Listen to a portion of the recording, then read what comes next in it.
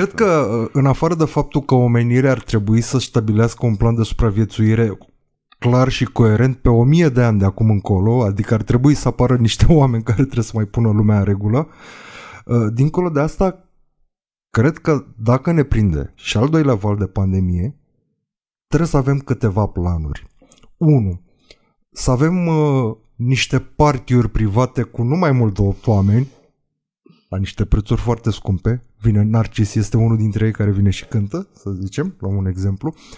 Underground și ilegale. Când am intrat în Băneasa și am văzut No Man's Land, am văzut orașul părăsit, am zis, da frate, cum ar spune unul dintre cântăreții de la Taraf TV. Da, frățioare. Stau pe calea Victoriei, unde de obicei este vacarm și praf. N-a mai fost nici praf, nu s-a mai plâns nimeni de probleme cu traficul, nici că este luni și am auzit uh, nu o singură noapte, ci foarte multe nopți o buvniță. Ah.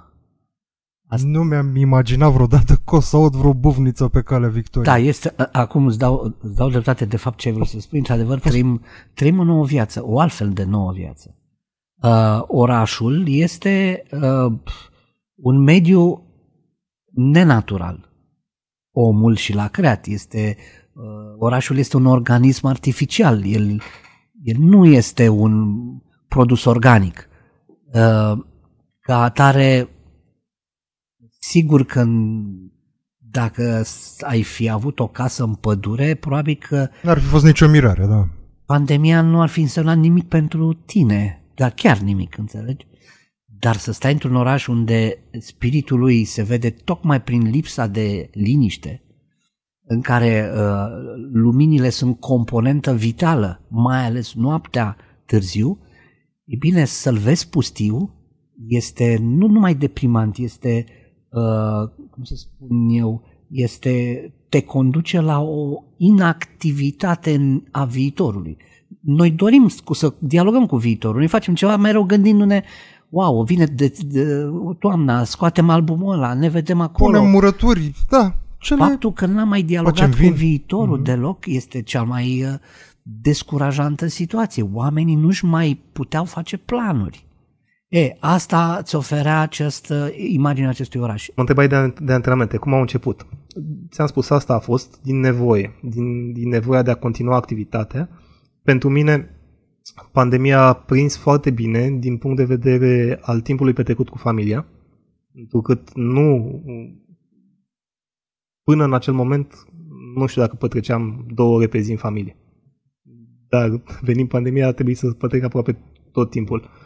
După care, primele două luni, n-a durat o lună, a durat două luni criza, starea de urgență, două luni am avut cea mai bună condiție fizică, întrucât în fața camerei trebuia să fiu acea oră, cum ai spus tu, nu știu, erau grele pentru tine și pentru mine erau la fel de grele antrenamentele. Nu știu cum se vedea pe cameră, cât de greu e, dar la un moment dat țin minte cum gâfâiam, cum transpiram acolo și bă, nu dă bine pe cameră treaba asta, trebuie să fac ceva, să fie mai, mai bine ambalat.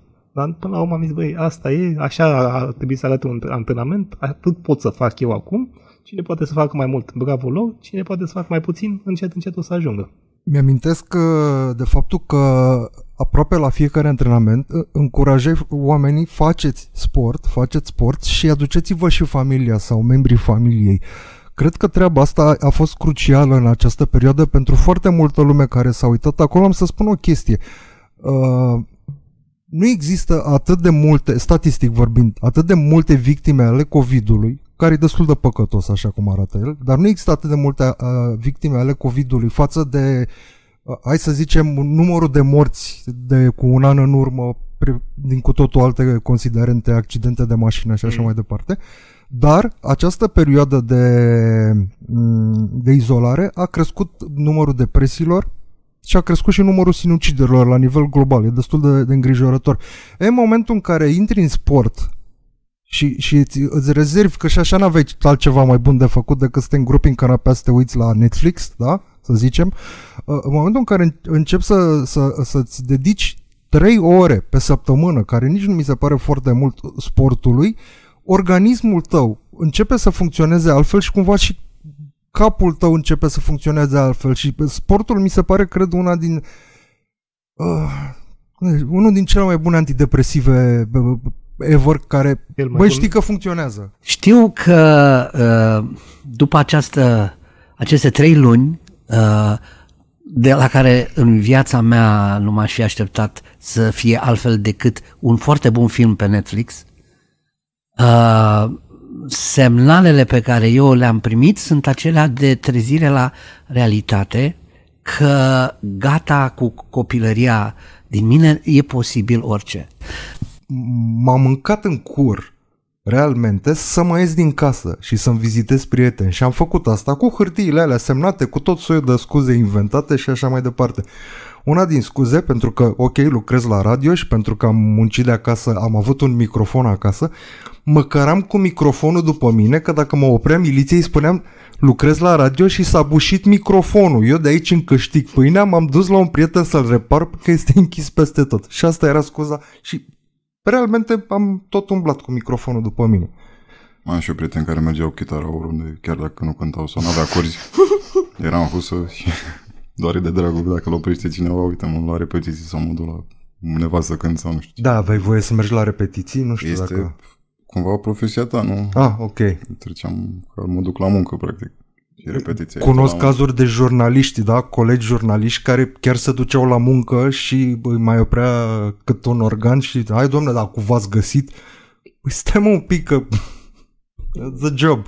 Jurnalismul, tocmai că în perioada asta, ca jurnalist, uh, bine, depinde pe ce ești taxat, dar cam ai treabă.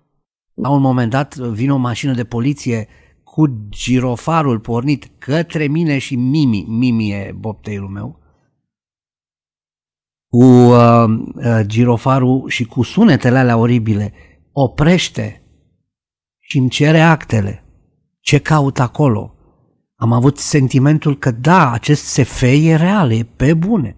Sigur că aveam, la un moment dat aveam atât de multe declarații că vă, rog, vă rugăm alegeți care vă convine mai mult. Adică, mă rog, dar una peste alta, uh, vremea asta a despărțit, uh, uh, a despărțit caractere, a, a um, pus la zid idealuri, a schimbat meserii. Știu foarte mulți muzicieni, artiști care au renunțat, nu mai pot să continue